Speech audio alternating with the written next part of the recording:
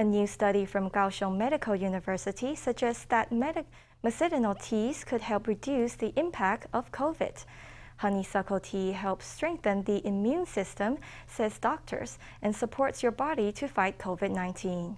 However, as a medicinal ingredient, it might not be suitable for everyone, nor is it a miracle cure. We spoke to Professor Liu Hsiao-sheng to find out more.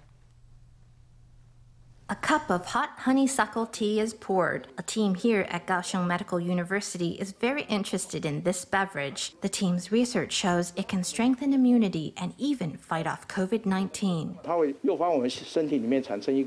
It prompts our body to produce microRNA, which is part of our immune system. It increases noticeably after you drink honeysuckle tea. The amazing thing about microRNA is that it distinguishes the virus RNA and then accurately inhibits the replication of the virus. The team has found that honeysuckle and astragalus root, both ingredients in traditional Chinese medicine, are both great for the immune system. They help your body create microRNA, which can detect the virus if it enters and help to prevent it from replicating itself. 我们做过的小鼠实验来看哈， Looking at our experiments on mice, it can ameliorate the condition and slow down the progression of the disease. But it's not a miracle drug and it can't totally destroy the virus. No, it just mitigates the situation. 毕竟是比较干寒， It is a more dry and cold ingredient after all, so overconsumption could harm your digestive tract. Especially for pregnant women, eating cold foods could cause a contraction of the uterus or other discomfort, even diarrhea. We would not really recommend that you go to a pharmacy and choose your own medicines. Doctors warn that while these teas may help your immune system as medicinal ingredients, they could also have some unwanted side effects. They recommend that you head to the doctor for a prescription to make sure you're taking the drugs that are